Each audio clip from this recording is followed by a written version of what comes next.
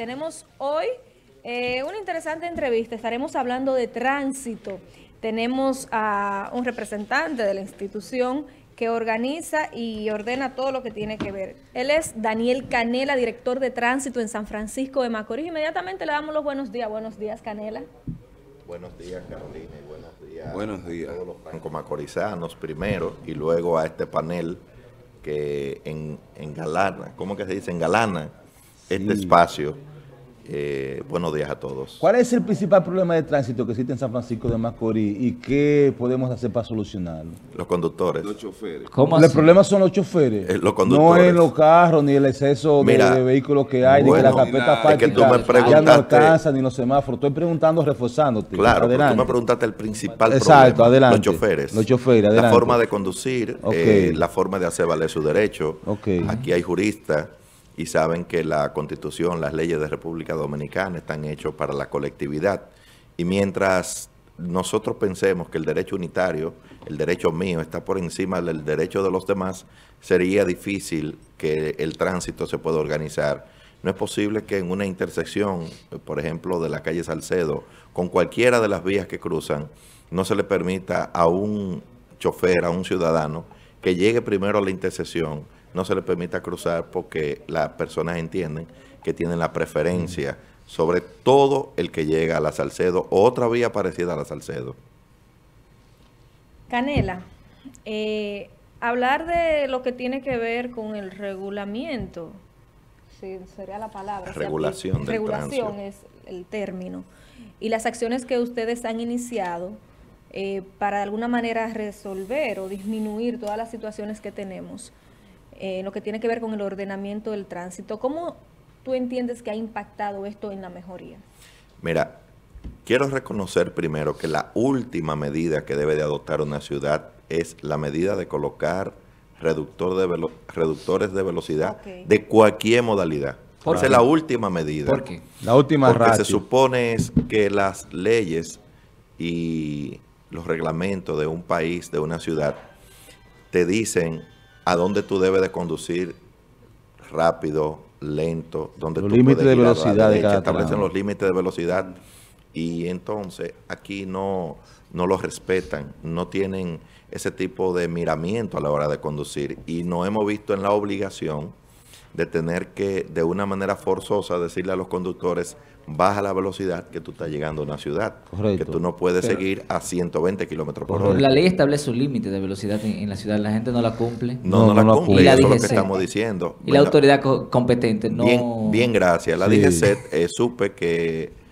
cuando anunciaron el, el, el 911, que pensábamos que iba a ser diferente, el 911 eh, trajeron unos 30 agentes de la DGCET y lo, des- lo diseminaron en toda la ciudad y ahí vimos y entendíamos que se iba a hacer un mejor trabajo de regulación, de orientación del tránsito. Pero tengo la información de que ya de esos 30 agentes de la DGC, Quedan solo dejaron aquí como 8 o 10. Increíble. Y so- se lo llevaron bulto. 20. Sí, porque fue un entonces, fue algo como para un caramelo. Exacto. Y No, No da entonces, risa, no, no, eso es Se ¿Qué resulta? mareo, en este tiempo le Claro. Entonces, ¿qué resulta? Me quedo sorprendido cuando veo unas camionetas de la DGC 911 y veo los agentes que están montados en la guagua el día entero gastando combustible en una, Sí, en pasar una Sí. sin hacer nada Sí. y decimos, pero por Dios, eh, si todos aunáramos esfuerzos, pudiéramos mejorar perfectamente lo que sería el movimiento del Claro tránsito sí. combinado con la La seguridad. pregunta Claro. que te hacía, que como eh, mencionaste otros factores, no, pues no me la diste, de cómo ha impactado de manera positiva las medidas que han iniciado. Y algo muy serio, grave, es que en torno a estas últimas medidas ya que han tenido que iniciar con los reductores, te quiere decir que hay una población muy poca educada y que no respeta para nada el tránsito. Mira, eh, cuando tú me preguntas que se ha impactado de manera positiva, ¿Cómo? ¿Cómo? te puedo decir todo lo que se hace en favor o en beneficio de los ciudadanos para evitar accidentes de tránsito impacta de manera positiva. Aquí teníamos vías, intersecciones que diario estaban ocurriendo accidentes y de una manera u otra tuvimos que colocar esos reductores de velocidad para eh, que esos conductores lleguen. Y que para allá estaban lleguen que despacio. usted recuerda que lo Claro, entonces, bueno, ese es el caso Correcto. específico de la avenida Presidente Antonio Guzmán. Fernández, que no es reductores que le hemos puesto, lo que hemos hecho una Frenadores. una no una división, una división de carril. Correcto, Por ejemplo, que no. ¿qué iniciamos? Porque hay que ser coherente. Correcto. Colocamos una doble línea, que en la ley, una doble línea amarilla en la ley te dice no rebase. rebase. Todo el que rebase o cruza por una doble línea amarilla, Sí. eh, tiende, un agente de la DGC tiene Una la facultad de ponerle una infracción, Claro. una fiscalización. Ahora, ¿qué resulta? Pusimos eso y con todo y eso, ahí se dieron Ahí la tarea de comenzar a hacer competencias, aceleraciones de vehículos deportivos, que dicho sea de paso, Sí. es una adrenalina muy buena, Sí, pero claro, también es un gran peligro. claro. Y nos vimos en la obligatoriedad de hacer una inversión no barata, Mira, porque cada estoperol tiene un costo en el mercado de 675 pesos sin colocación y desde el Parque Los Mártires hasta la hasta la, la estación de combustible final que está allá en la salida a Santo Domingo, se colocaron 750 estoperoles. Es decir, que es un costo para la ciudad Dile a la gente lo que mantener son esa seguridad. peroles. Los estoperoles son esas boyas, esos frenadores que se colocan en la vía con un adhesivo y unos clavos que se colocan para evitar que para que los vehículos sientan una fuerte vibración cuando cruzan por encima. Correcto. mira, hay algo que yo veo, no lo veo mal, pero veo mal que ustedes no hayan tomado en cuenta que hay intersecciones que debe de respetarse por parte de la, de la dirección de tránsito, la raya intermitente para el paso hacia la derecha o hacia la izquierda. Hay entradas y tienen el cerco, Mira, en que no debiera. En principio, es decir, está muy bien que en la doble raya se le agregue, aparte de que la doble raya es indicador de que tú no debes cruzarla o rebasar, pero en toda la línea de la Guzmán Fernández hay intermitentes, hay rayas intermitentes, es decir, rayas que, que se nota que hay intermitencia porque tú vas hacia un, a entrar un giro. un giro hacia la Andújar, hacia la, Hacia la izquierda. hacia la izquierda, a la, a la derecha al Tejar, ese debe de tener, debe de tener la apertura de ir al giro.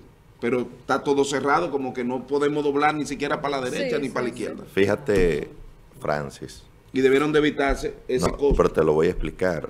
Lo primero es que en materia de tránsito tú analizas dos aspectos fundamentales. Primero la seguridad y luego la agilización. ¿Qué es lo que estamos haciendo? ¿O qué hicimos? La presidenta Antonio Gómez Fernández en la primera etapa no le colocamos reductores de velocidad, estoperoles, No. en esas intersecciones. Pero eso no nos evitó. ¿Qué estaban haciendo aquellos desaprensivos? Aceleraban y en el espacio del cruce de la, del Tejar, del Colegio de la Altagracia y de otras intersecciones que están muy cerca, entonces ahí aprovechaban ellos para, para salir a rebasar y no tuvimos que ver en la obligación ya de un trabajo que se está haciendo en esa avenida de regulación de colocarle esos estoperoles en esos puntos. Pero te puedo asegurar, y sin temor a equivocarme, que tú te paras eh, y esperas tu espacio para girar y tú puedes doblar sin tocar los estoperoles porque están colocados en unos espacios que te permite tú cruzar las cuatro gomas sin tener que chocarlo. Daniel. Ahora, lo que pasa es que tenemos una cultura ¿Y que no la, una no porque te voy a explicar, una cultura que no tenemos. Es que usted no puede doblar a la izquierda. Pero es que No, ninguna pero ciudad moderna per- perdón, tiene el déjame terminar. en las entradas. Perdón, déjame, déjame completarte. Déjame completarte.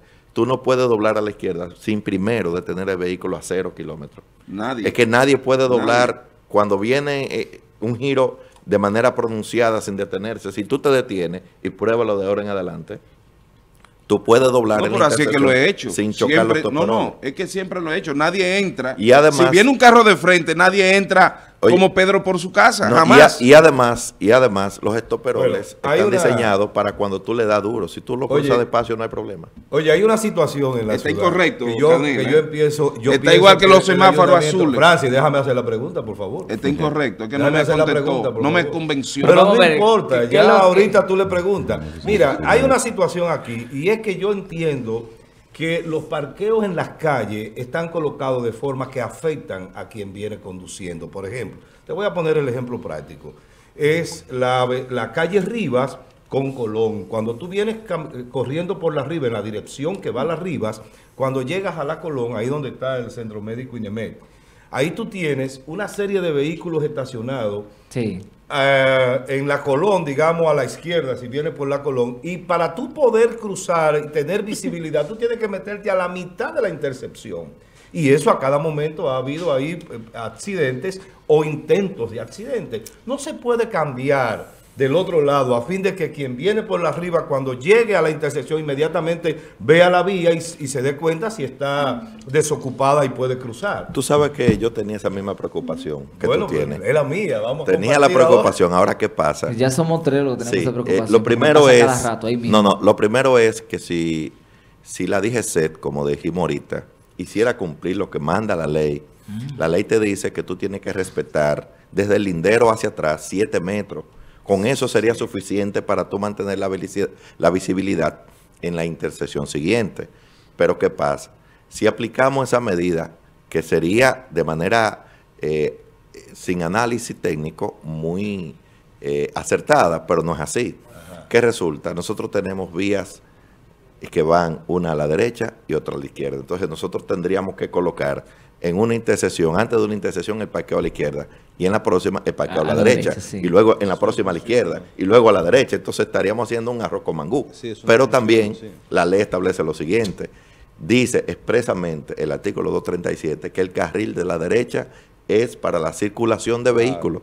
Entonces no podemos mandar a que se estacionen en la derecha, salvo aquellos casos que tenemos vías que son de tres carriles, como las tres vías que circulan en el Parque Duarte y otras como la Inver y así O sucesivamente. sea que la idea sería eh, reducir. La idea, claro, es que los conos, claro, que mira, se cumpla para que tenga así como dice. Francis, la única ciudad que tiene estos peroles en las entradas para evitar que los vehículos, los conductores rebasen, asimismo, Qué es la que única ciudad tenemos. que tiene 2.000 conos regados en las intersecciones para que las personas no se estacionen en las esquinas. Y con todo y eso van y lo quitan y se estacionan. Sí, pero y en- entonces, en, en- en ese caso, la, la dirección de DGCET aquí en San Francisco de Macorís y en la región no está eh, poniendo las multas correspondientes porque una persona que se parquee en un lugar prohibido, en este caso, debe ser multado. eh, Ellos y- solo multan por el casco. Juan, eh, pasa por el Parque Duarte y fíjate que nosotros hicimos un gran trabajo de señalización de cruces peatonales, Sí, de paso sí, de sí. cebra y todo eso. Y todos tienen un vehículo donde termina el cruce peatonal. Las personas tienen que salir del cruce peatonal es para poder subir al Parque Duarte o viceversa. Y la DGC siempre ha estado En apostada Sí, en el cierto. entorno del Parque Duarte y no lo hace, No le pone una multa a nadie. Entonces, digo, Anela, eh, hay señales que son lenguajes universales sí.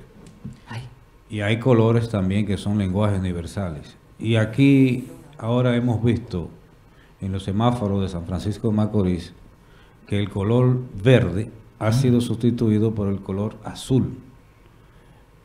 Eso eh, creo prudente mejorarlo. Sí, ¿Qué mira. es lo que está pasando con relación a eso? Eh, me voy a ir a un poco a la teoría científica. Luminotecnia es la palabra. Los semáforos convencionales están hechos por un, un cajetín, como se le llama, y ese cajetín tiene unas pantallas de tres colores primarios, verde, amarillo y rojo. Ahora, ¿qué pasa? La pantalla que es de color verde nunca es de color verde, la colocan con una tonalidad azul porque esos cajetines fueron diseñados para un bombillo de color amarillo. Cuando se hace la combinación tonalidad azul con el color amarillo del bombillo, entonces que si se te da el color verde. nunca podría ser de color verde, porque cuando tú le pones color amarillo, entonces sería invertido, te la daría de color azul. Ah. En este caso, nosotros lo que hemos hecho es mirando que ha ido, que ha ido cambiando la modalidad de los, las iluminarias. Ya los bombillos incandescentes en este país, primero, casi no vienen, y segundo, los que vienen son de muy mala calidad, que se queman cada tres días, y buscando le pusimos un color, un bombillo LED, que es de color blanco. Por consiguiente, no potencializa el color amarillo y eso hace que los semáforos se vean de una tonalidad azul. Pero eso no es una medida definitiva. Nosotros hemos solicitado los focos necesarios para sustituir. Actualmente tenemos 14 focos de color verde LED que están dañados. Y esos 14 focos tienen un precio en el mercado de unos 12.500 pesos. Ya tú puedes saber el costo que representa el ayuntamiento para poder mantener los semáforos, la señalización, la remodelación de parques, la recogida de basura. Porque queremos significar algo, y ustedes buscan las redes sociales del Ministerio de Obras Públicas. El Ministerio de Obras Públicas, usted se va y dice, estamos remozando los puentes, reparando los semáforos, estamos señalizando la calle, pero de Santo Domingo, de Santiago y de otras ciudades. Sin embargo, en San Francisco de Macorís, la ciudad completa solo la está administrando, gestionando y limpiando el ayuntamiento municipal. Canela, eh, entendemos bien esa eh, aclaración científica que das de los tonos, que la, la Pero, pero quiero decirte algo ahí rápido. No puede nunca que tenga una tonalidad azul prestarse a confusión, porque en el semáforo solo tenemos tres Tres tipos colores. de no colores. presta, Rojo, amarillo y verde con tonalidad azul en algunos semáforos. Ahora, si tú me dijeras que el verde tuviera un color parecido al amarillo, Sí. Sí, sí, Tú no, ahí eso es entendible, eso es entendible. La pregunta que te voy a hacer, porque está bien que lo expliques, que lo expliques, pero la gente lo que se supone que debemos de esperar es que sea verde.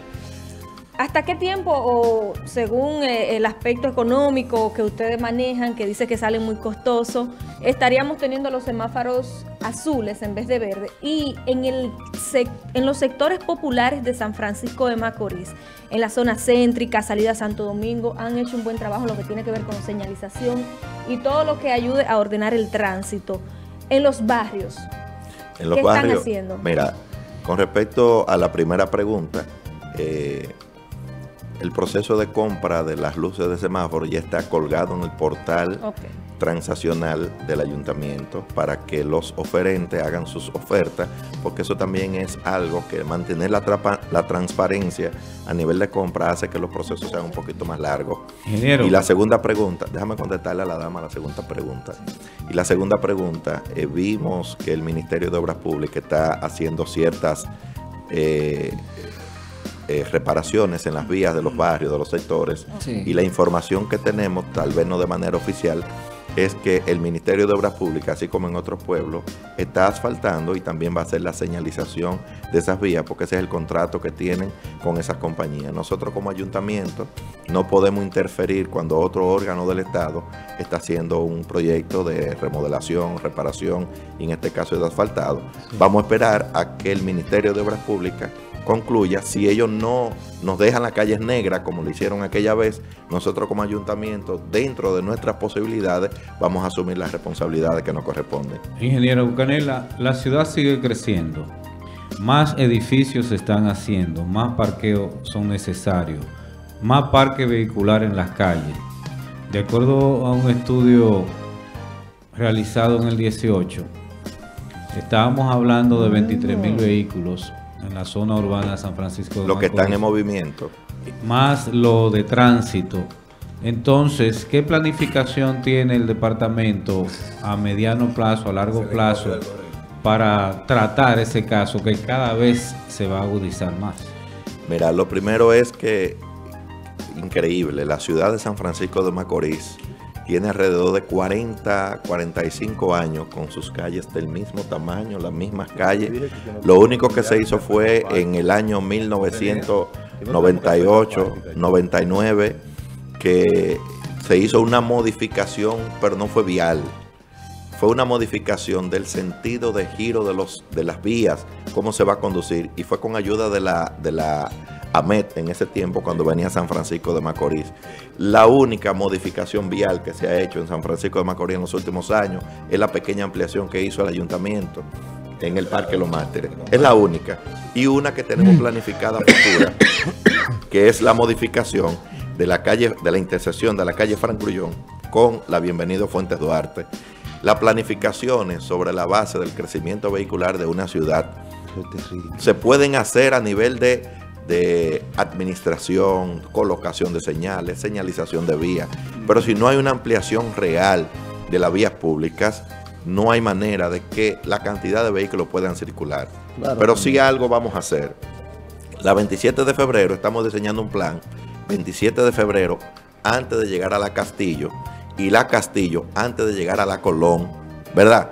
Ahí tenemos la necesidad de prohibir el estacionamiento en los dos carriles del lado izquierdo.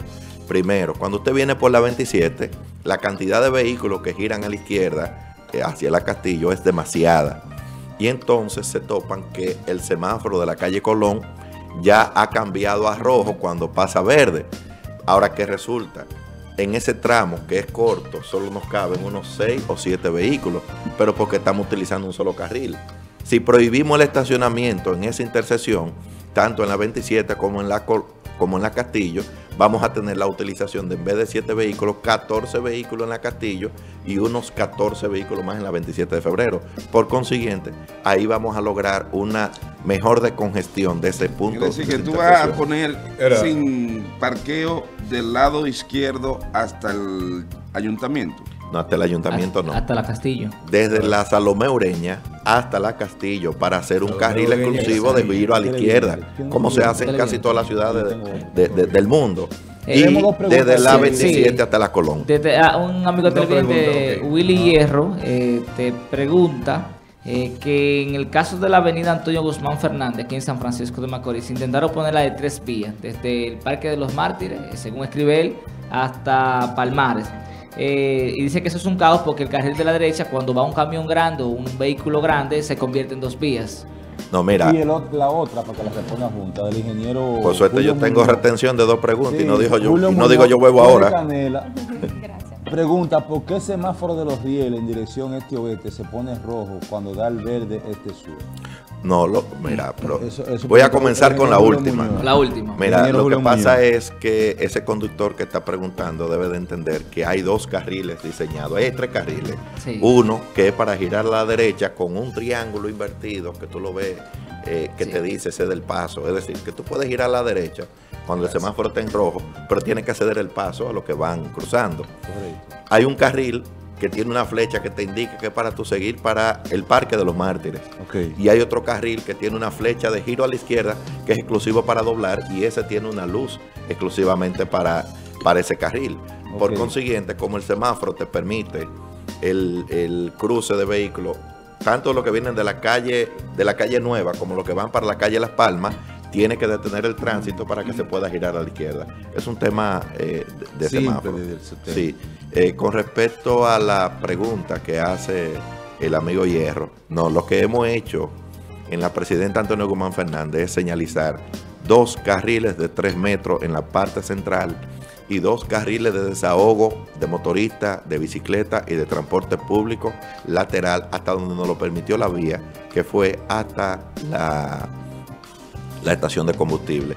Esos carriles de desahogo, no sé si ustedes se fijan, los, las guaguas de transporte público andan por ahí recogiendo y dejando pasajeros sin ningún tipo de problema y también los motoristas, las bicicletas pueden circular. Estamos conscientes de que no tienen las dimensiones de carriles legales, pero sí son parte de las soluciones que hemos hecho en San Francisco de. Macorís para poder mejorar la condición del tránsito. ¿qué ha pasado con las gracias. grúas y, y los vehículos que estaban incumpliendo?